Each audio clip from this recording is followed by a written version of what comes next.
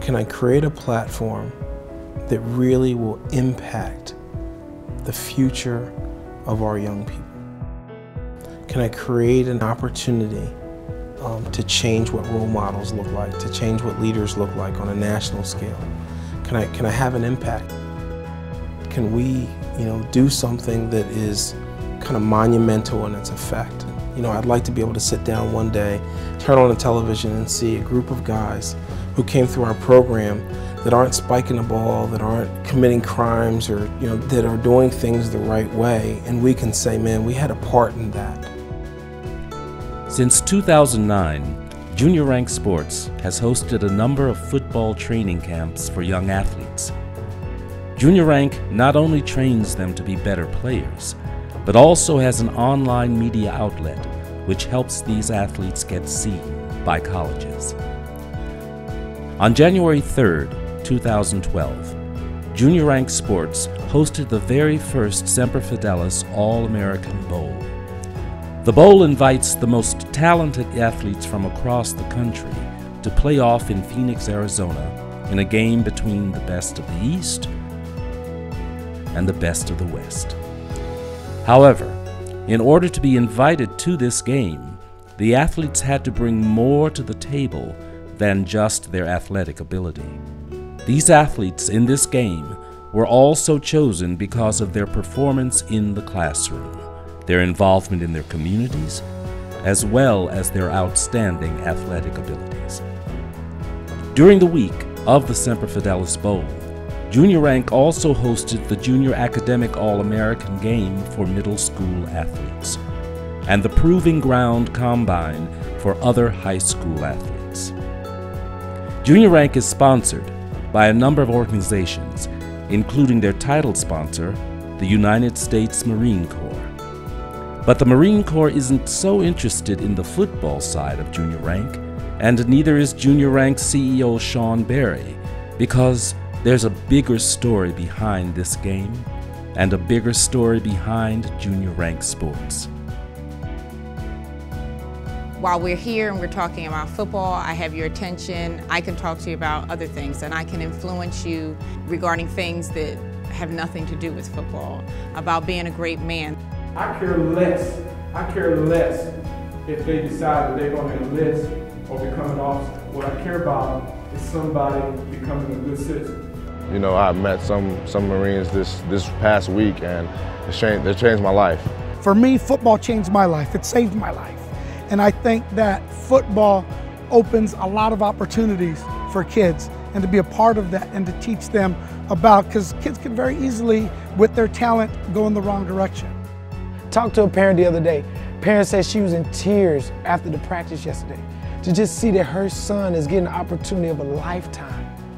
I mean, just to talk to the parents, I mean, it, it, it's an experience that, you know, I'm just grateful to be a part of. My vision is that, that we really can do a great service by parents and athletes by giving them a credible opportunity to showcase their skills, but at the same time, helping them to understand, particularly at a young age, the things that are important. This week's game is called Influencing the Influencers.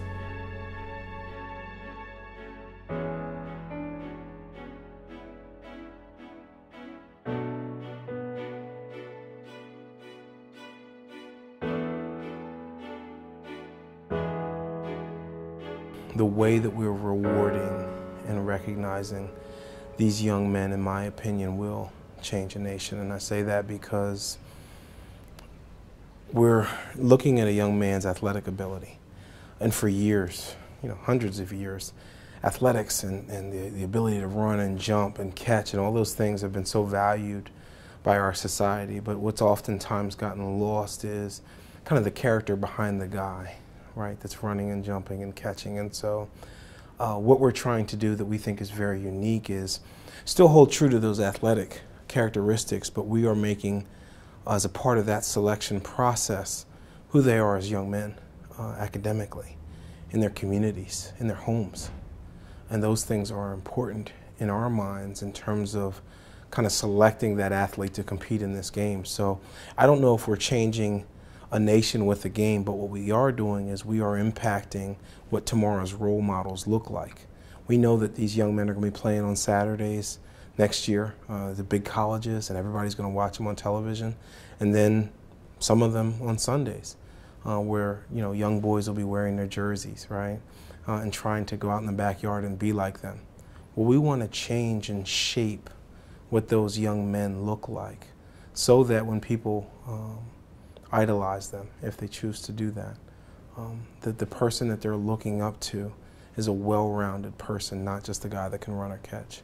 Anytime you accept a position uh, in a league, uh, whether it be basketball, baseball, football, you accept automatically the inherent responsibility to be um, not only a role model, but a positive role model uh, to those young men and women that are uh, definitely going to look up to you. And so uh, I feel like the professional part uh, is being overlooked an awful lot uh, in today's in today's athletic scene.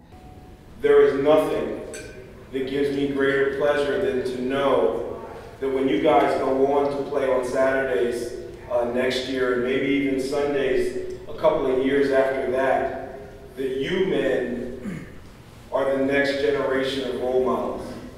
Um, Shaon does not allow the kids to sag their pants and to act disrespectfully and things that you see that seem to be common and fun and hip. Um, they're not common and fun and hip here. Developing character is all about input. Okay? What are you reading? What are you watching? I see you all with the headphones on. What music are you listening to? Do you expect to be able to develop solid moral character if the music that you're listening to is garbage? Do you, be, do you think that you're going to develop solid moral character if the movies that you're watching are the computer website that you're at? If you hear somebody coming in, you have to turn it off really quickly? You know, when I went to the Dallas Cowboys, they go, I only have a little question you. Got in a fight in the seventh grade. What was it? Why? And I had to explain. I said, how did you No, I got in a fight in seventh grade? And it was, uh, you know, seventh grade, we're just kids. Somebody played somebody harder than the other one, and we just started fighting, whatever. I couldn't even tell. I said, I don't even know. They were probably kidding around. I did ask him, I said, why? Because we check up on every single thing you've done. We don't hold you against it, we'll ask you. Because what? Guess what? They're getting ready to invest millions and millions of dollars on you. They want to make sure you get along with other players. They want to make sure you get along with the media. They want to make sure you get along with the fans. You guys remember right now, anything you do right now, from walking outside this room to anywhere else, their eyes on you. You should be very proud of yourselves for being here because we didn't select just anybody to come and play football this weekend. We didn't just look at a name and go, that guy's big or that guy's strong. We asked you to bring your report cards. We asked about your character. We asked your coaches about your character and the way that you carried yourself. So you're here because you've been selected as the next generation of great student athletes. Two years ago, my wife wrote me a letter on a sticky note. It says, with God, all things are possible. And at that time, we did a camp for about 37 kids.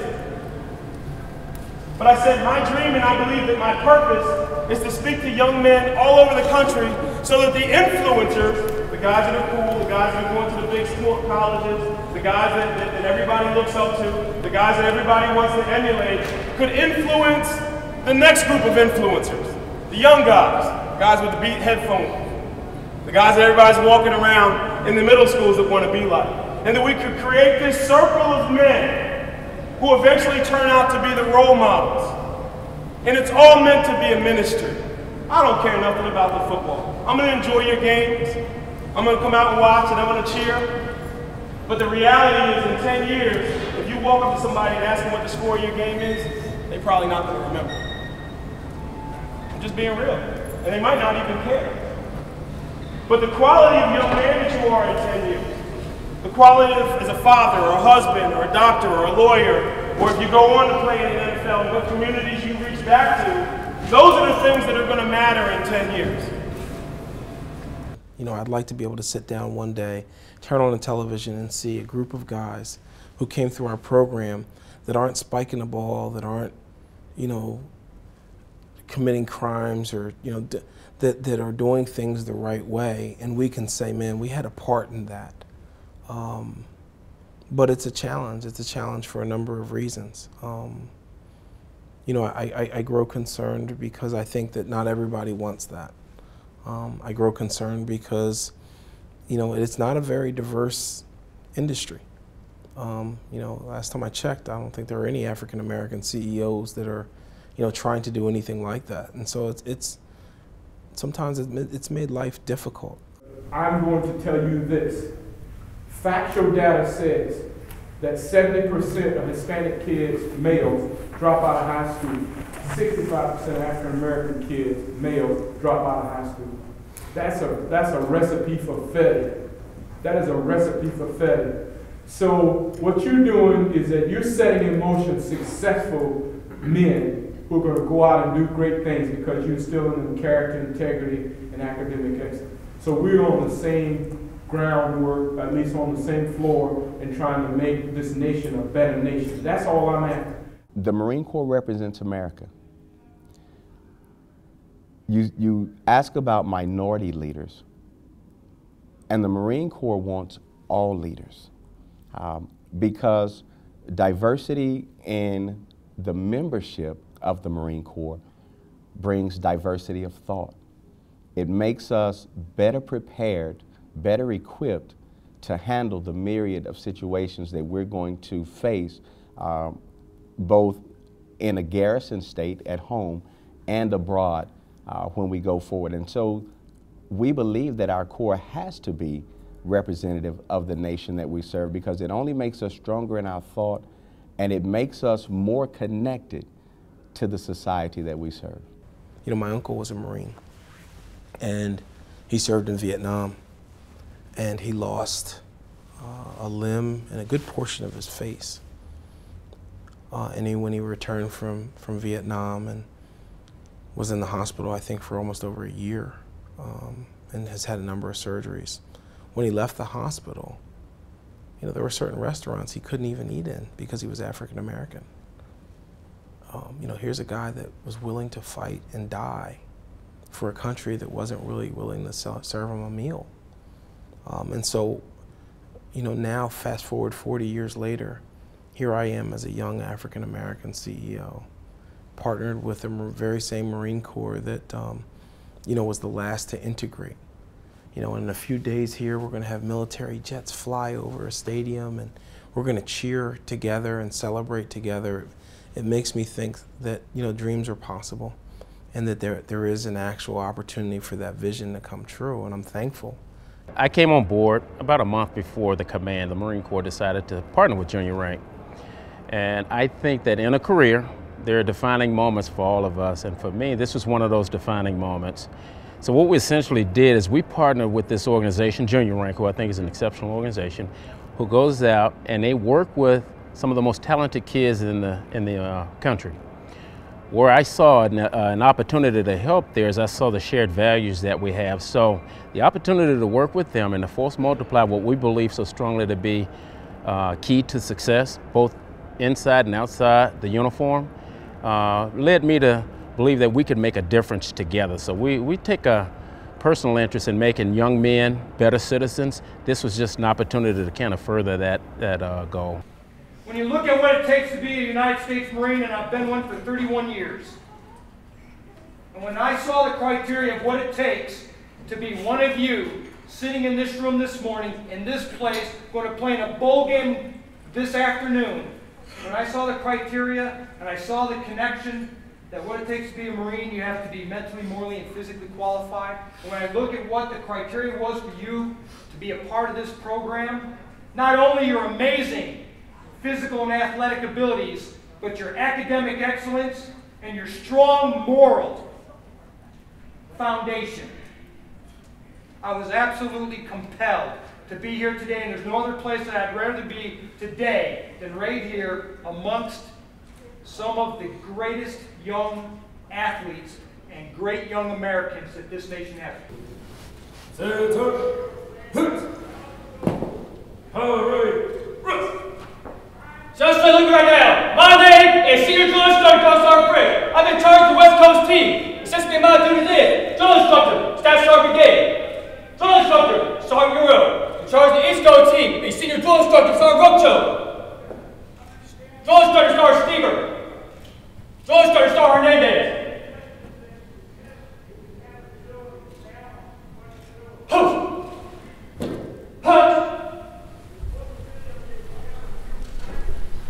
Now, like I said, we're here to have fun, but I've asked them to spend time with our teams this week and in the hotel this week. And when we go out to the block party at the Fiesta Bowl this week, and I've asked them to spend time with each of us as a resource, right? I want, if you need somebody to talk to, talk to them. But don't miss bed check, Doc. Don't be late for practice. Don't be late for a meeting, Doc, because that's not who you want to deal with. 520, 522, coach. 522 is next. Sorry. How we doing, gentlemen? Good. All right. Brad. Which one's big? Which one's weak? Big. Eddie? Set the tone one night. I don't think we'll have any issues with you guys. Yeah. Set the tone the first night. I'm bored and set it soon. Yeah, exactly. Obviously, many of you going to colleges, I mean, people recognize that ability that you have. Consequently, it makes you a little bit of a, um, I, I guess, uh, one of those folks that's easy to pick out in the crowd because you make a name for yourself on the football field. So the fork in the road that you've got is really, what do you want to do with that? You know, you can you can uh, just kind of narrowly focus your life and kind of say, okay, I'm going to go off, probably play football in college, very slim chance of making it to the NFL, and after 10 years of getting beat up and trying to, okay, what have I got left kind of thing. Or, you know, you that fork in the road that says, hey, I want to be a leader in my community. You know, those kids that are in seven and eight years, or seventh and eighth grade, that are part of this program as well this week, you know, looking up to you as incredible athletes, you know, what, what kind of leadership do you want to show them? What kind of uh, persona do you want to have? And what, what way do you want to go down that road, taking that fork, in order to do things with your life that go well beyond football? And that really is what the challenge is here. You're already making a difference in your community. You're already making a difference on your team. Make a difference this week by being the ultimate team player, by being the great role model for these young men and women and these young men over here on the, on the, uh, in the other group. See, by doing that, not only are they looking up to you, they will remember you for taking the time, one, to say hello, to talk to them, or just say something to them. But just remember that you're going to make a difference in, in life if you think of others and you remember that it's not about me, it's about my service to others. Junior Rank says, listen, if you are not performing in the classroom, if you are not a solid citizen in your community, then we don't need you to be here. The United States Marine Corps says we make Marines, we win America's battles, and we, and we return productive citizens to society. And so then we're saying, we're saying the same thing. We want the lives that we touch to better the nation, uh, not just in football, not just in the military, but in the common, uh, in the common citizen or citizenry of our nation. Being here uh, for the Semper Fidelis Bowl and, and participating in the junior rank camps is not about young people becoming Marines. Understand that we may come and participate and there may not be one young person that chooses to be a Marine, and that's okay. But we want those young people to look upon this time later when they're successful doing other things and say, my life was changed because I had an encounter with United States Marines. And that's why we're here. I don't care if you're the starting quarterback, you're the fastest receiver on the squad, or you got 60 people down here watching. Because I'm more concerned about what we represent than how fast the ball flies. That's why we're different, and we're going to continue to be that way. Today you are divided into the East and the West, but you are one team. Make no mistake about that. You are Semper Fidelis All-Americans. When you all leave here, You will go to colleges across this nation and battle for your colleges. But what I expect you to do today is to play this game intensely, but with discipline. All right? Personal fouls are caused by a lack of discipline because you allowed yourself to get wrapped up in emotion. Fighting somebody on the campus is caused by a lack of discipline because you allowed emotion to overcome you. Be disciplined, gentlemen. Have a spirited contest, but a disciplined contest so that you can all walk away from here and be ready to go forward and accomplish great things. You got that? Yes, Let's pray. Well, I mean, you know, you, you earn revenue from camps and you sell T-shirts and that kind of stuff. But you know, I wanted Junior Rank to be different. Um, you know, we're not going to charge 500, 600, 700 dollars for an event. There's so many athletes that can't afford anything near that, and really, quite frankly, shouldn't have to pay that to get an opportunity, you know, to get a look or for a college to see them. So our, our goal, or at least our strategy anyway, is to keep our prices real low, to provide a high level of instruction and a great level of opportunity, and hopefully, partners or sponsors will say, hey, listen, that's an organization that I want to partner with. We believe in what they're doing. One of the things that we believe in is passing on a discount to the parents. You know, our, our charge for our camps are under $200, um, and you're getting the same amount of coaching that you would probably get at some of the other camps that are out here. I don't think junior ranks about the money. I hope that they are hugely successful. I hope they make tons of money, but I don't think Shaon would sacrifice any of the goodwill for the money and I think that's unusual. I don't see I don't think you see a lot of that out there where they're going to give up on the dollar for the kid. Yeah, they pay for everything. Like they pay for the plane ticket, the hotel, the food. Basically, that's all you got to do bring clothes out here. Um, you can look at our prices and see, you know, we, you're not gonna, we're not making a quick dollar off of these kids. We really want to um, welcome as many as we can and to affect as many as we can. So it's really about getting through to them rather than making a quick buck. Not one kid gets turned away because of finance. And I know that every kid gets his chance and gets his opportunity. Um, that's a good feeling to me. Uh, I think having those kids get that opportunity is great. And who knows, that kid that may get turned away from by somebody else maybe the kid that makes a difference down the road. And, and I can tell you this, uh, Mike Tomlin from the Pittsburgh Steelers, uh, who's now the coach of the Pittsburgh Steelers, had went through a similar situation. And at one time, he didn't have he didn't even have cleats. And uh, there's a gentleman out of Virginia that ran a camp, gave him a pair of cleats, let him in at a free camp, and now that affected him for his life. It changed his whole life and, uh, and now you look at the end result. Here's a guy that's running the Pittsburgh Steelers. He goes back and trains kids in Virginia, a coach from the NFL, because the, the, the gentleman that helped him changed his life. They flew me out here. They paid for everything. Um, it's been a great experience. I can't say enough about how much uh, I've learned a lot and grew up a lot just being around these guys. Junior Rank is the reason why I'm here. Um, if it if it wasn't for uh, Junior Rank and, and Shaon Berry, I, wouldn't be here now as you probably know, there's not too many people here that are injured. And um, if they are, then they came here and they got injured. But me, I was injured um, at the end of the, the, my season, my senior season, and uh, junior rank still allowed for me to come out and, and to help. And, and to them, I'm, I'm very grateful to them for it.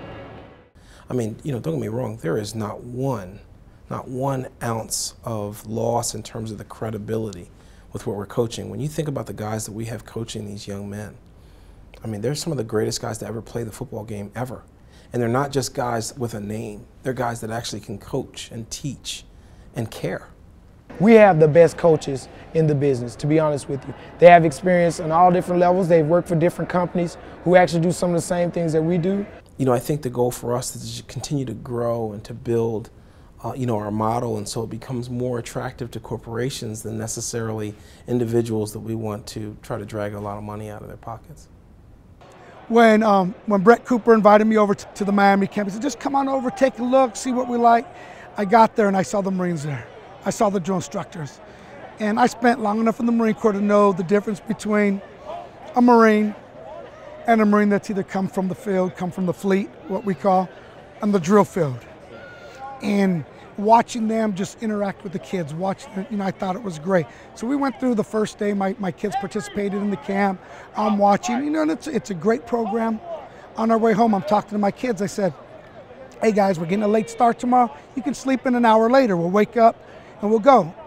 And my oldest said, he goes, Dad, no, we want to go early. I'm like, well, you can sleep a little bit. No, Dad, they're having a prayer service in the morning. I'm like, you want to go to the prayer service? He goes, yes. Now, my kids go to Catholic schools, we're Catholic, and I drag them to get them to go to church. And But for them to, on their own, take the initiative to want to go to a prayer service, you know, first that hit me. Something had to hit them to get them motivated to go there. And then we attended, and Shaon came out. It was a non denominational service, and it was just more, rather than religion, but just more about core values, talking about, you know, how we need to be, how as young men, how we need to act and carry ourselves, and as adults and leaders and mentors, and what we need to do, which, you know, that it sold me. This is where I want to be. And, you know, I've been thanking Shaon every day because this is my dream job right here, is being a part of junior rank in the Marine Corps, the Semper Fidelis Bowl. I think for anybody that knows me personally, um, this is all a ministry.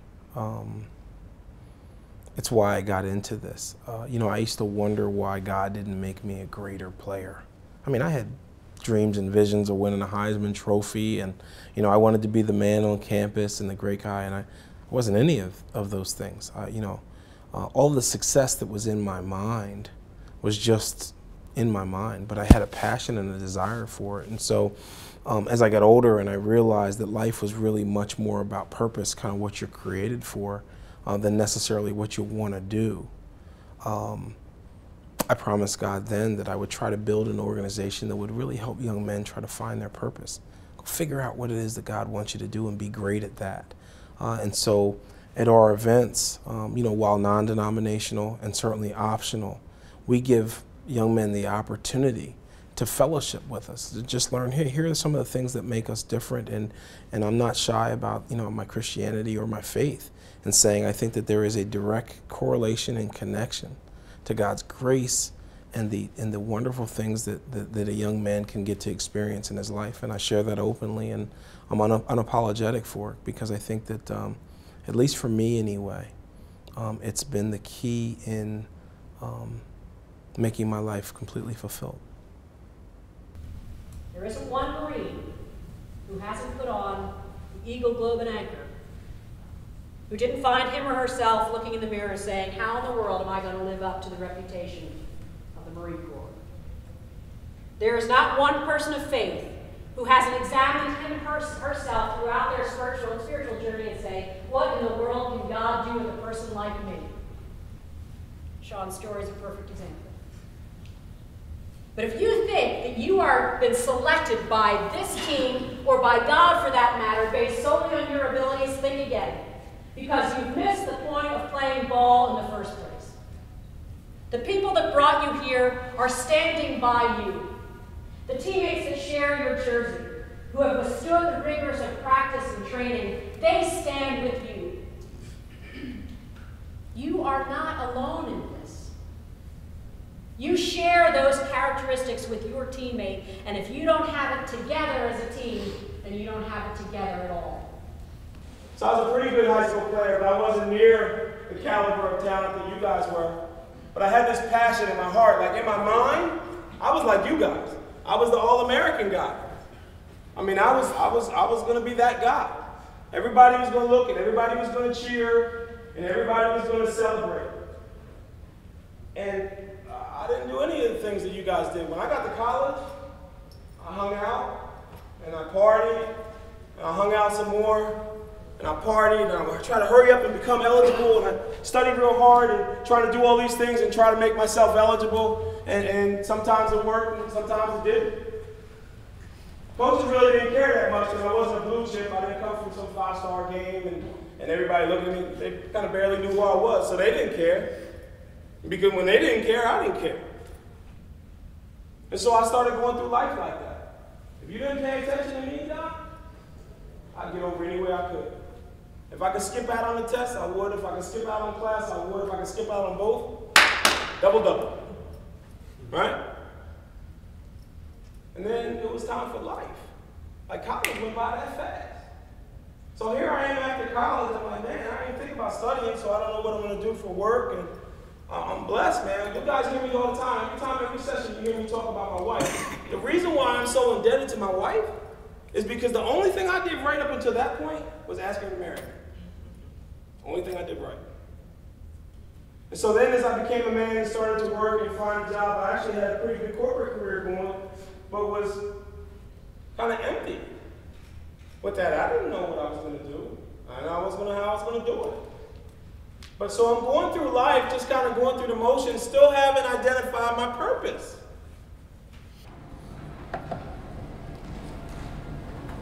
What's in this cup? Huh? Liquid. Kind of liquid? Coffee. What flavor coffee? Jordan Diamond, what flavor coffee is it? Huh? Regular? Nope. French vanilla, French vanilla, what you got? Decaf. Decaf. Nope. what flavor is it? Coconut. Who said mocha? Raise your hand if you said mocha. Who, who said mocha? You said mocha? I said coconut. Caramel. Wrong. yeah, you said cappuccino? You're as wrong as the others. you say there's nothing in a cup. You know what? He's right. There's nothing in the cup. But you know why there's nothing in the cup? Because I didn't put anything in there.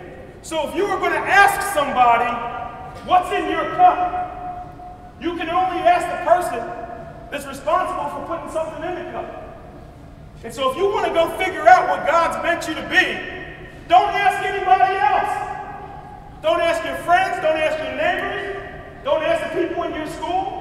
Don't ask the guys with the pants sagging off their butt. Ask the person that created you to be what you're intended to be. And that's the only person that can tell you.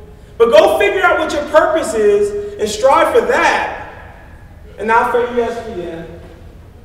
Not for, you know, the, the, the, glory and the acclaim and all that kind of stuff. Because God never promised you none of that. That might not be your intention, Vinny. I know you like to play ball. I know what kind of young man you are. But I also know that young men look at you. God might have something totally different. So for me, I was telling my story. I had all these dreams about being this great football player, but God never wanted that for me. Could care less about that. And so what I was hoping that you would get out of this week was that it's so much more than just about the football. Because if it was just about football talent, after the game was over, all of you would be irrelevant. And this game would be irrelevant. And nothing that we're doing would be important. And nothing would matter. And this would have been a good vacation. And you got a couple Facebook shots out of it. And I saw some of y'all little girls, you know, maybe you got a couple of phone numbers out of it. But that would have been it. But if you go figure out what the real purpose is behind you being here, why were you selected amongst hundreds of thousands of football players across the country. I'm just submitting to you that maybe God had a bigger purpose, like for me. If he can take a guy that rushes for 800 yards his senior year in high school, scored seven touchdowns, loved his way into a football scholarship, that he didn't maximize his potential, and he lets me get an opportunity and be blessed enough to do all this, to meet with 500 of the best athletes in the nation, and have Chase Field in the stadium and opportunity for the Marine Corps. If God can take a nobody and do this, what in the world do you think he can do with you? Remember that it's about giving back to somebody else. Remember that you're making an impact on somebody else. Remember, and this is why we do this, young guys, we pair you with the older guys that you see over here because we want these guys to be your role models. So that when you walk down the street and you see these young men and how they carry themselves, that that's what you emulate, not what you see the world doing, and not what you see everybody else doing. People will say all the time, don't be a follower, be a leader. But it's okay to follow things that are good. Um, you know, when they, when, they, when they score a touchdown, I want them to feel like they did a good job. But when they see a young man that has served our country, given an arm or a leg or a limb, or sacrificed his, you know, three or four or five years of his life, I want them to be able to understand and to separate. This is an athletic event, and this is something that's critical and important to life. You know, this is a, a, a an exciting time, but this is somebody to be revered and honored. Um, you know, I tell kids all the time, I love to watch pro football and college football, and when a guy scores a touchdown, I jump up and cheer. But I don't call him a hero. I call him a guy that did a great job at catching or running or throwing a football. Um, when I see a guy that served our country faithfully, um, without so much as a thank you, that's a hero. Young men, we talk about fighting and being battle tested and courage. And let me share with you that none of us have a concept of what that really means.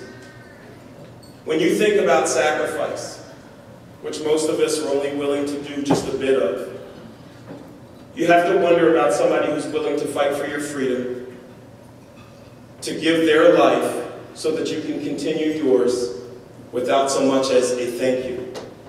But I can bet you tonight we are absolutely going to say thank you to Marine Guillermo Tejada.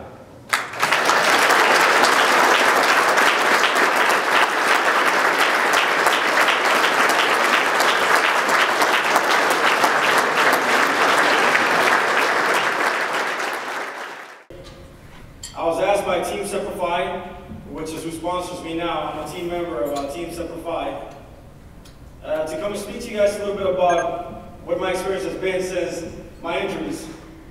And to let you guys know that regardless of what happens in life, you know, there's still more out there that you can accomplish. You're only limited by yourself. I was injured November 11th of uh, 2010. Veterans Day 2010, I struck an IED, which took both of my legs. Uh, while I was still in the hospital, they found an infection, so the amputation had to get a little bit higher. On my left side, I lost my leg all the way up to my hip. On my right side, I, I lost it above the knee. Talking about processes, they told me that 10 years ago, they would have told me to find a good chair and uh, pretty much learn to love it. But now with technology and pretty much the motivation that the Marine Corps has taught me, I'm not limited by that. Ever since my injuries, I participated in marathons. I'm a hand cyclist now with Team Semper Fi. Just October 30th, I completed the Marine Corps Marathon. And I completed it in uh, 2 hours and 18 minutes. I want to congratulate every single one of you guys as athletes uh, for giving it all your best. And I just want to leave you with, uh, remember that you're only going to be limited by yourself. You're going to get as far as you want to get. Thank you very much.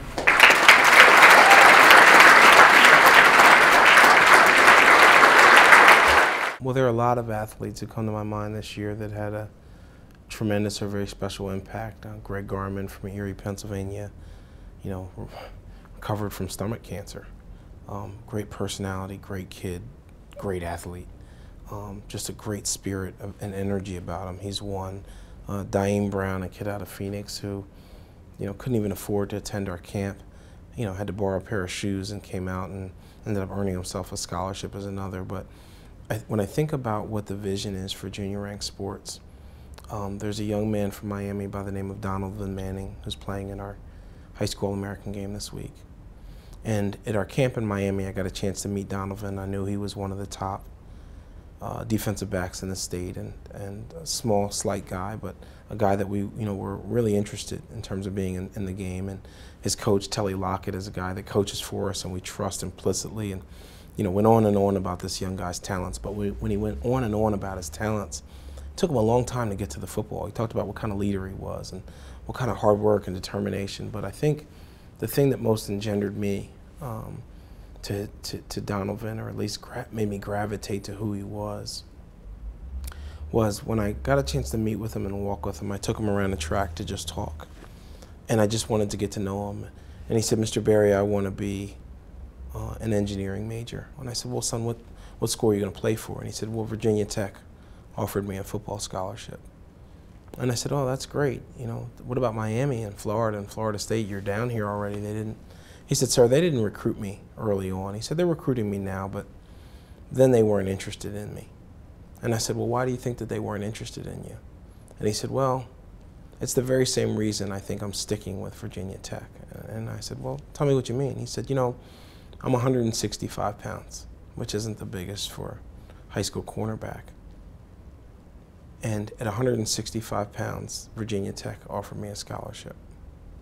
And the other schools passed, I think then, because they were afraid I just wasn't big enough.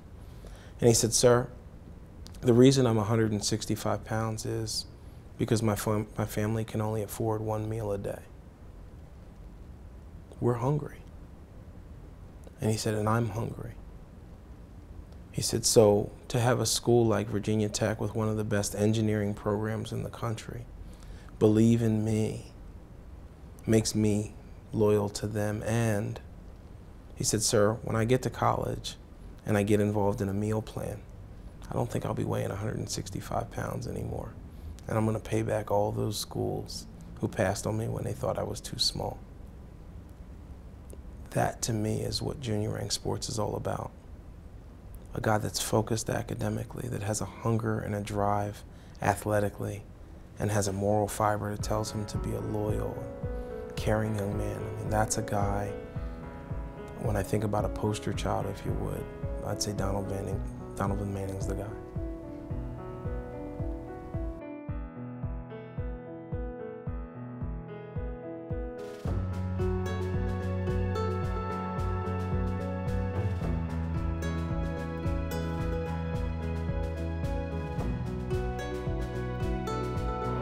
Off, I like to thank God because He gave me the talent and the brains to get on track and get on my right track to be an athlete that I am. And I thank my mom and my aunt and my uncle for pushing me to being the man that I am now.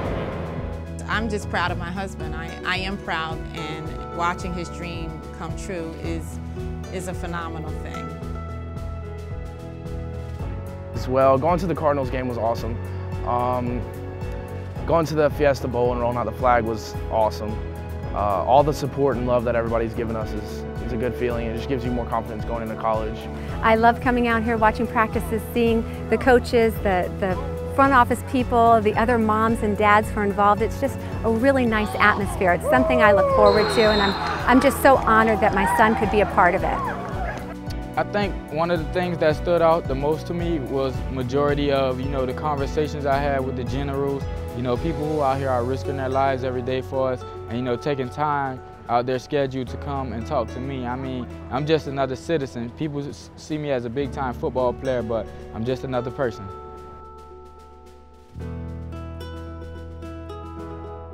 You know, I really love this. I really love this whole experience here. Um, you know, I wouldn't trade it for the world. Uh, junior rank, you guys have done a great job. Uh, I, I, believe that one day I will be here working with you guys after my um, football career. And Semper Fi, always faithful. That's really it.